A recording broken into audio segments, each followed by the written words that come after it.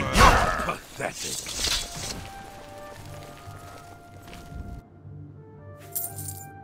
Hello there.